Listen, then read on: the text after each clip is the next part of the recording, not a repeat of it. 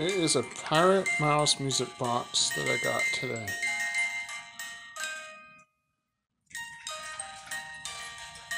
The mouse in the middle dances and the little mouse on the side just moves back and forth.